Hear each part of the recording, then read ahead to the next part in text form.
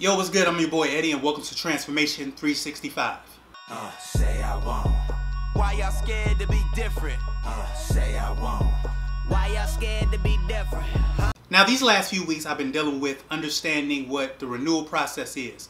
The Bible says, Be no longer conformed to this world, but be transformed by the renewing of your mind. I already talked about how in Isaiah chapter 55, verses 8 and 9, it says, For as the heavens are higher than the earth, so are my ways higher than yours, and my thoughts higher than yours. God sees things based off his will, where we see things based off our reality. Today, I want to take that up a notch. When we understand our value in Christ Jesus, we'll begin to live from that. When we have our mind, that mind renewal process, we'll begin to see ourselves in the way God sees us and no longer in the way that we've been raised, in the way the world sees us, and in the interactions that we've had. We'll begin to see ourselves as God's children, as, as joint heirs with Jesus Christ, and we'll begin to operate from that value versus the value that the world tries to put on us.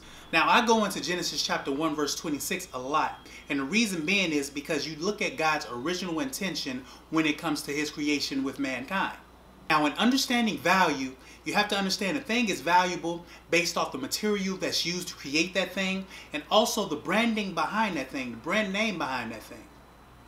If something is used with cheap material, then more than likely it's cheap. It's inexpensive. It's, it's cheap and faulty in nature. But the Bible says that when we were created, we were created in God's image and according to God's likeness. So we were created with God's stuff. As I said before, that term image also means living symbols reflecting God's glory or reign. So we were created with the understanding that we reflect the name or the branding of God as we live our entire lives on the earth. We were supposed to operate and function as God functions and operates in the heavens. What also determines the value of a thing is the rarity of a thing. If there is a rare jewel or precious stone, something that's not very common, then the value of it goes up. The same thing is true when you get to a limited edition automobile. If you get something that there's only 2,500 that were made throughout the entire world, that bad boy is expensive, correct? The same thing is true when it comes to people. Yeah, there's 7 billion of us on this earth, but no two people are alike. That is what gives you your value, coupled with the fact that you were created in the image and likeness of God. It's a well known fact that no two fingerprints are even the same. Even if you're an identical twin with somebody, your two fingerprints are uniquely different. God wants it that way. He made us to be rare. He made us to be unique so that our value would be specific to ourselves and to His glory. Also, value is not determined by the surrounding environment in which that thing is found. You find a piece of gold stuck in some dirt, that doesn't change the fact that that gold is valuable. Yeah, you might have to clean some dirt off of it, but that gold still holds its own value. Same thing if you found a Bentley, but you found that Bentley in some place or in a neighborhood that's not necessarily all that great. That doesn't change the value of the Bentley, even though you might have found it in a place that's not very becoming.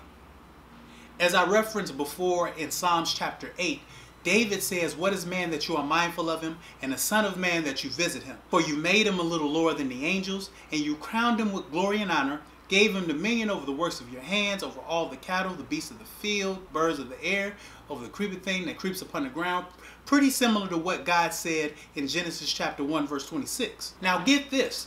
The word angel is the Hebrew word Elohim. That word Elohim is translated everywhere else in the Old Testament as God. It's the same word that's found in Genesis chapter 1 verse 1 where it says, In the beginning Elohim created the heavens and the earth. It's also found in Genesis chapter 1 verse 26 where it says, And Elohim said, Let us make man in our image and according to our likeness, and let them have dominion over the fish of the sea, the birds of the air, and over all the cattle of the field. The actual translation of that scripture is, You've made mankind to lack little of God or you've esteemed mankind a little lower than yourself. Now I tell you, if that don't speak to the value of man, I don't know what does. Our value is not set on where we grew up and the negative situations that we've been faced with, but our value is set by God in His creation. You also see this through the very specific details that had to take place so that redemption through Jesus Christ could happen for the believer. If you have your Bibles handy, turn over to Hebrews chapter 9 and we're going to show you a little bit of something. I'm closing. I'm closing. Give me one more. I'm closing. Now, now I'm promise you, I'm closing soon. Glory to God. I'm closing soon. Now, like I said in Hebrews chapter 9, we're going to start at the 12th verse and we're going to go down to the 14th verse. And it says this Not with the blood of goats and calves, but with his own blood he entered into the most holy place once and for all, having obtained eternal redemption. For if by the, the blood of bulls and goats and ashes and heifer, sprinkled the unclean thing sanctifies it for purifying of the flesh, how much more shall the blood of Christ, who offered up him, who offered through the eternal Spirit, offered himself up without spot to God, cleanse your conscience from dead works to serve the living God? Also in 1 Peter chapter 1 verses 18 and 19, the Bible says that we were purchased not with corruptible things like gold and silver, but with the incorruptible blood of Christ. Now get this, we've already said that Adam when he was created was a type of mankind, was the representation of mankind, and this Adam was made in the image and likeness of God. So Adam was God's image on the earth. However, the Bible says in the book of Colossians that Jesus was the fullness of God's image manifested in human form and was sacrificed on the cross for our sins. The reason why this is important is because it was only the image of God that was qualified to redeem the image of God back to God. What I mean by that is, is if something was lost, only something with equal or greater value could be used to restore or buy back what was lost. It works with any type of retail. If you go out and you buy something and someone comes to you and offers you something that's less than what you paid for it, then that cheapens the value of what you bought if you happen to give it to them. Case in point, I have a TV. If I were to spend $1,500 on this TV, bring it home, it's still freshly packaged in the box, I haven't taken it out. Then one of my friends come over, say, hey man, this is a nice TV you got here. Um, how much did you, how much did you pay for it? I tell them I paid $1,500 for it. I tell them I paid $1,500 for it. Then they turn around and say, well, that's nice. Well, I'll give you $700. I'm sorry, what? 700 what? I'm sorry, what? Get out of my house. Get out right now. Go.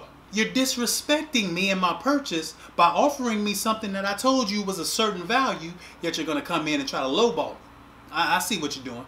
I see what you're doing. However, if I was to sell it to my friend at that lower rate, what I've done is cheapen the value of that TV. Even though I paid $1,500 for it in the beginning, I cheapened the value of it when I gave it to that person for $700. Same thing is true when it came to mankind. If God would have offered eternal redemption through the blood of bulls and goats, then what he would have done is cheapened the value so that the value of mankind was no longer after his image, but just in the value of those bulls and goats and other creations, which mankind was supposed to be steward over. However, by sending his son the fullness of his image to redeem and restore man back to himself, he showed the value of mankind that it was only his image that could restore his image. There was nothing else that could be used. Also, like I said, if anything else was used, that would have effectively cheapened the value of man so that we were no longer considered in God's image. Lastly, it wasn't just about us going to heaven when we died but it was about those who were in the image of God being restored back to that image so that we can continue the work that God before ordained for us to walk in.